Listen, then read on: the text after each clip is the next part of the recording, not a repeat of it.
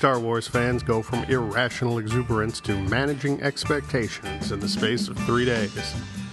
It's Friday, May 27th, and you'll hear about those stories and more this week in Star Wars. This Week in Star Wars is your source for new and noteworthy developments from the galaxy far, far away. I'm your host, Matt Fox. And now, this week's lead stories. Like a bolt from the internet blue on Tuesday, May the 24th, StarWarsCelebration.com went live with a teaser graphic featuring simply the Roman numeral 6 on a starry background. The only other information on the page was a link which allowed visitors to provide their contact information with the promise of future Celebration 6 updates being sent directly to their inboxes. Never content to just be content, Star Wars fans immediately started filling in the dearth of information with information of their own, and it quickly became accepted gospel that the next day, May the 25th, would see an announcement of a date and location for the upcoming and widely expected, and now all but confirmed, Star Wars Celebration 6. The support for the belief that May 25th would see an announcement is, of course, rooted in the fact that May 25th, 1977, was the original release date for Star Wars in the United States. Well, May 25th came and went without any further information, as did May 26th. And as we sit here on May 27th, we continue to be in a hold pattern for further information.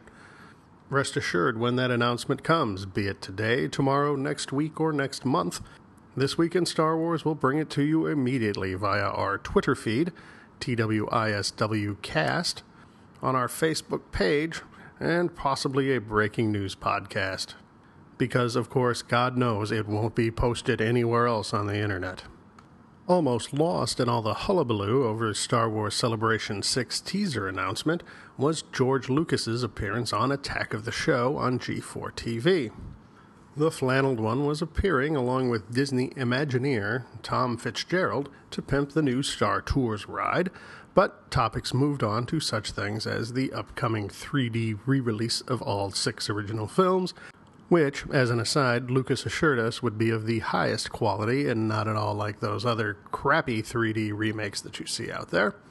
But near the end of the interview, almost as an aside, Host Kevin Pereira asked Lucas about the long awaited, long promised, and under delivered live action television show.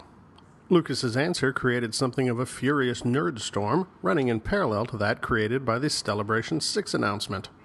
The substance of Lucas's answer was that the show was on a production hiatus until the cost of producing a show to the technical standards that he expected were reduced to a point at which the show would be fiscally viable. However, that response was prefaced by these two sentences. I'm a man. I'm 40. I'm not a, I'm not a kid. After which he actually said, Uh, it sits on the shelf. Um, we have 50 hours. The vagueness of that answer allowed the blogosphere and fanboys alike to put the best possible spin on the answer and proclaim that 50 hours of the live action show had been filmed and were, quote, in the can. Some more restrained media outlets, however, questioned how 50 hours of Star Wars material could be filmed without anybody finding out about it, let alone any announcements about cast or production details. Website IO9 contacted Lucasfilm Public Relations to find out exactly what the creator meant by this cryptic comment. The clarification came down from on high that what Lucas actually meant by saying that they had 50 hours was that they had 50 hours worth of scripts, which is not only more believable but also fully consistent with what we have been told and what has been rumored up to this point. Full video of the interview is available on the G4 Attack of the Show website, and the IO9 follow up story is available on the IO9.com website, both of which are linked to on the This Week in Star Wars Facebook page. This week's collecting news. Lots of images of new products appeared on the web this week. An image of an alleged Y Wing Toys R Us exclusive in a vintage package appeared on eBay this week, although there has been no confirmation of the product, only rumors up to this point. However, collecting forums across the web dissected the pictures of the vintage packaging like the, some sort of Star Wars Zapruder film, and we can only assume that soon we will know one way or the other whether or not it is actually true. Less controversial were the images of the Stealth Operations clone trooper from the Clone Wars line, aka Blackout, which will be appearing in the Wave 11 case, which we discussed last week on This Week in Star Wars. There were also images on Jedi Insider of the upcoming clone artillery cannon, loose, not in its package, which we can expect to see probably at Comic Con in July. The two new sideshow pieces we discussed last week the premium format Stormtrooper figure and the one quarter scale Sandtrooper with dewback are now available for pre order on the Sideshow website. And Gentle Giant is now shipping the next four of their retro vintage reproduction 12 inch figures. These are Han Solo, Chewbacca, Darth Vader, and Princess Leia. Last piece of collecting news this week. Longtime listeners to This Week in Star Wars, and there are actually longtime listeners, may recall that I have previously referred to Wedge Antilles as Star Wars collecting's most star-crossed character. It would appear that the fates are still not smiling on the only pilots who survived the assault on both Death Stars. Although Mr. Antilles has been depicted on no less than three occasions in plastic in the modern line, he has never really gotten his due as an individually carded, available at retail figure. That is, until he was supposed to appear in Wave 3 of the Vintage Collection. But then, inexplicably, he was dumped from Wave 3 of the Vintage Collection, only to be added subsequently to Revision Case 11 of that wave. Well, that wave is now shipping from a number of online retailers. However, it has not been spotted at retail. And given the vagaries of Hasbro shipping as of late, and the fact that this is a case 3 and they're about to start shipping case 7, many fans are concerned that they will never see him at retail. And given this checkered history, I cannot really blame them.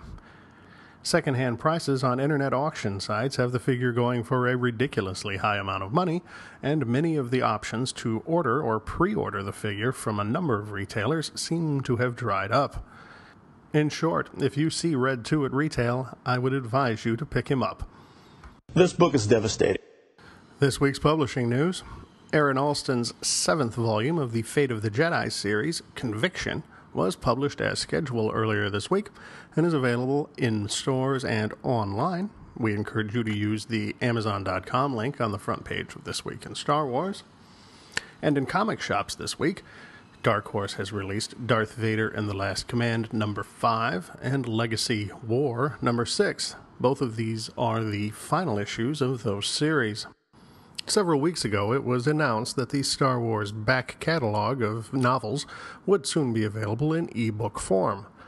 Well, it appears that that date has come, or at least will come, on June the 28th online book resellers for the Amazon Kindle, Apple iBooks, and Barnes & Noble's Nook bookstore all list many, many, if not all, of the Star Wars catalog available for pre-order with release at the end of June. Prices for the novels appear to start at $7.99 depending on the title, but all prices are consistent amongst the resellers. George Lucas was not the only Star Wars grandee making television news this week. Clone Wars director Dave Filoni appeared at a Clone Wars panel last weekend at the first of the Star Wars weekends at Disney World in Orlando, at which he stated very little about the upcoming season that we did not know.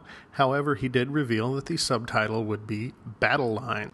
While Filoni provided no further illumination as to what this subtitle might indicate, we can infer from previous season subtitles that it indicates that there will be no battles or lines in season 4. Lastly, this week, it's Memorial Day weekend in the United States, and if you get tired of parades and barbecues and being just too darn hot, Spike TV will be showing the Star Wars prequels this weekend, so check them out in all their commercially interrupted glory if you're so inclined.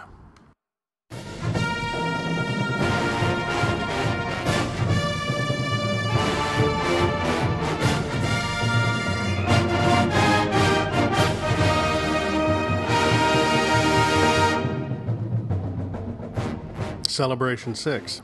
We knew it was coming, but now we know that it's really coming. Therefore, the two big mysteries still remain when and where. Well, we can fairly well pin down the when, likely sometime in the summer of 2012, because conventions happen in the summer and we're already well into the summer of 2011. The where is anybody's guess. Of course, no one really knows, but everybody seems to want it in their town, or at least in the nearest big city. The Reed executive who alluded to Star Wars Celebration 6 a couple weeks ago said simply that we would be surprised by the location. But this could still mean anywhere, because anywhere is surprising to someone. That said, if there's one time and location we hear more than any other, it's Orlando in August of 2012.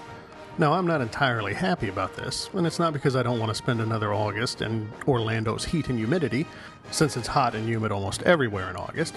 It's the fact that August 2012 is 15 months from now. That's a long time. How about Orlando in May, so it matches up with Star Wars weekends? Or anywhere in May? Or next week? The long promised Star Wars Clone Wars Season 3 wrap up roundtable should be appearing next week somewhere in your podcast feed, so keep an ear out for that. However, that means the contest is still open. If you would like a t shirt, which was given away as a promotional freebie at the Clone Wars theatrical Savage Opress movie event last December, all you need to do is post a positive review of This Week in Star Wars on iTunes and send me an email letting me know you did. Even if you don't want that shirt, we'd appreciate the feedback. And that was This Week in Star Wars. Join us again next week for more news, notes, and developments from the galaxy far, far away. Visit our website, www.thisweekinstarwars.com, or if you're in a hurry, www.twisw.com. There you can find past episodes, links to some of the stories we discussed, as well as photo galleries and other interesting Star Wars related tidbits. You can also find links to the other realms of the This Week in Star Wars media empire, including our breaking news Twitter feed, our Facebook page, as well as links to email addresses where you can contact the show. If you have questions or comments or news suggestions, we encourage you to contact us at host at thisweekinstarwars.com. Help us grow the community. If you enjoyed this podcast, please leave a positive review at iTunes. You've been listening to This Week in Star Wars. We troll the web so you don't have to. This Week in Star Wars is not affiliated with Lucasfilm, its subsidiaries, or any other entity mentioned in this podcast. Star Wars, its characters, and creations are the property of Lucasfilm. All other trademarks are property of their respective trademark owners. This Week in Star Wars is intended for informational and entertainment purposes only. This podcast is copyright 2010 This Week in Star Wars. Invaluable technical assistance provided by WebStorm Interactive. News, comments, and questions can be directed to host at thisweekinstarwars.com. More information, links to stories presented, past episodes, and additional contact information are available at www.thisweekinstarwars.com.